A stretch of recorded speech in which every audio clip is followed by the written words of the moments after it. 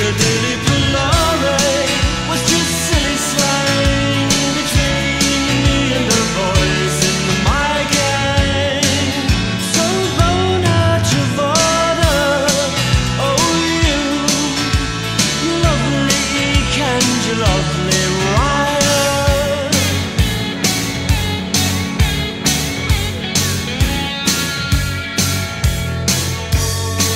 We plied an ancient trade where we threw